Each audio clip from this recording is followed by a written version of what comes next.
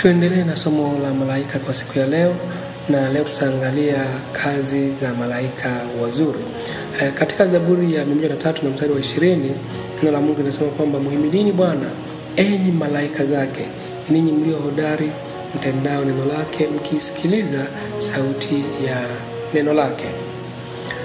Uh, kwa hiyo kazi mojawapo ambayo malaika wanaifanya tunaiona kwamba ni kumsifu Mungu. Malaika wanamsifu Mungu huko mbinguni, na tendo hili linafanyika katika uwepo wa Mungu. Lakini pia hata katika wakati wa kuzaliwa kwake Bwana wetu Yesu Kristo hapa duniani, tunasoma ya kwamba malaika waliimba utukufu wa Mungu juu mbinguni. Hiyo utaisoma katika Luka sura ya pili na mstari wa 13 hadi wa 14. Uh, lakini pia kazi nyingine ambayo malaika wanaifanya tunaona ya kwamba wao kufikisha au kufunua ujumbe wa Mungu pale ambapo wanakuwa wameagizwa, na kazi hii ndiyo ambayo inawatambulisha zaidi. Uh, kama vile ambavyo tuliangalia katika kipindi cha vipindi vilivyotangulia ya kwamba maana ya neno malaika ni mjumbe. Kwa tunapokuja kwenye sehemu hii ya kazi yao mojawapo ya kwamba wanafunua na kufikisha ujumbe wa Mungu uh, ndiyo inawafunua zaidi na kuwatambulisha zaidi. Malaika walihusika sana pia katika kutoa sheria. Tunaposoma katika kitabu cha Matendo ya Mitume sura ya saba na mstari wa hamsini na tatu imeandikwa hivi, labda tuusome kidogo: ninyi mlioipokea torati kwa agizo la malaika msiishike. Na hata katika Wagalatia sura ya tatu mstari wa 19 inasema torati ni nini basi? Iliingizwa kwa sababu ya makosa, hata aje huyo mzao aliyepewa ile ahadi. Aliamriwa kwa utumishi wa malaika kwa mkono wa mjumbe. Hata katika Waebrania sura ya pili na mstari wa pili nasema ya kwamba kwa maana ikiwa lile neno lililonenwa na malaika lilikuwa imara, na kila kosa na uasi ulipata ujira wake. Kwa hiyo maandiko haya yanatuonyesha kwamba kazi mojawapo ya malaika ni kuleta au kutoa zile sheria ambazo zilihusika kwa namna yake na kwa wakati wake. Uh, jambo lingine ambalo tunaliona hapa ni kwamba malaika wanahusika sana katika mawasiliano kati ya Mungu na mwanadamu. Tunasoma pia katika Injili ya Luka sura ya kwanza na mstari wa 13 hadi wa ishirini. Malaika walimtokea Zekaria na pia walimtokea Mariamu katika Luka sura ya kwanza mstari wa 26 hadi wa 38. Hata katika kitabu cha Matendo ya Mitume sura ya 8 mstari wa 26 malaika waliongea na Filipo na Kornelio, na katika Matendo ya Mitume sura ya 10 mstari wa tatu mpaka wa saba na pia katika Matendo ya Mitume hiyo hiyo sura ya 11 mstari wa 13 na Matendo ya Mitume sura ya 12 na mstari wa saba. Uh, malaika wanatoa huduma kwa wanaoamini. Hiyo ni kazi nyingine ambayo malaika wanaifanya, wanatoa huduma kwa waaminio.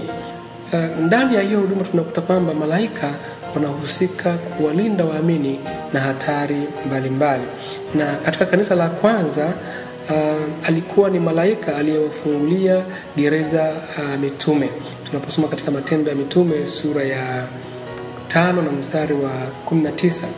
Halafu na baada ya muda uh, ilitokea tena kwa Petro sura ya 12 ya kitabu cha Matendo ya Mitume na mstari wa sita hadi wa kumi na moja. Na tukisoma katika Wafalme wa Pili sura ya 19 na mstari wa 35 inasema hivi: ikawa usiku huo huo malaika wa Bwana alitoka akaingia kituo cha Washuri akawapiga watu mia na themanini na tano elfu na watu walipoondoka asubuhi na mapema, kumbe hao walikuwa maiti wote pia. Kwa hiyo unaona ya kwamba kazi nyingine ambayo malaika hapa walifanya ni kutekeleza hukumu juu ya maadui za Mungu. Tumesoma waliwaua watu laki moja na themanini. Eh, kazi nyingine ambayo tunajifunza ni kwamba malaika watahusika wakati wa kurudi kwa Bwana mara ya pili, watakuja naye na hiyo tunaisoma katika Mathayo sura ya 25 na mstari wa 31, kama vile walivyokuwepo wakati wa kuzaliwa kwake hapa duniani na pia wakaendelea kuwepo katika maisha ya Yesu Kristo na hata alipokuwa akijaribiwa pale nyikani, malaika bado walikuwa pamoja na yeye.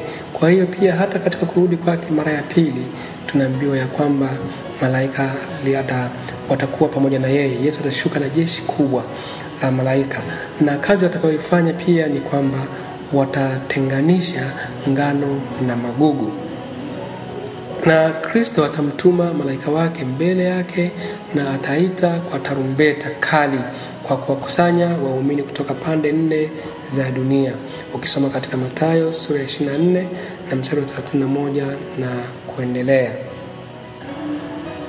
Kwa hiyo shughuli na kazi za malaika ni kama hizo ambazo tumeziorodhesha hapo. Inawezekana zikawepo kazi zingine ambazo wanazifanya ambazo hatukuzitaja hapa, lakini hizo chache basi zinatupatia ufahamu wa kufahamu kazi zao malaika wazuri wanajishughulisha na nini. Tumesema kazi ya kwanza wanasifu Mungu huko mbinguni, na sifa hiyo hufanyika katika uwepo wa Mungu, lakini pia hata wakati wa kuzaliwa kwa Yesu Kristo waliimba mbinguni, wakasema kwamba utukufu kwa Mungu juu mbinguni. Na tumesema ya kwamba malaika pia uh, huwalinda waaminio. Tumeona katika kanisa la kwanza walihusika katika kuwafungulia mitume pale ambapo walikuwa katika hali za, uh, za hatari, na hata tunapoona ya kwamba waliweza kuwafungulia uh, mitume gerezani. Hizo ni baadhi ya kazi tu za malaika ambazo tumeziweza kuzigusia katika somo hili.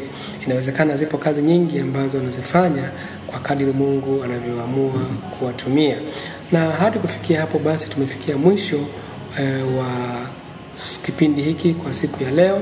Uh, ni kuhusihi tu ya kwamba uendelee kufuatilia vipindi vyetu. Nitarudi na tutaendelea na kuangalia malaika waovu.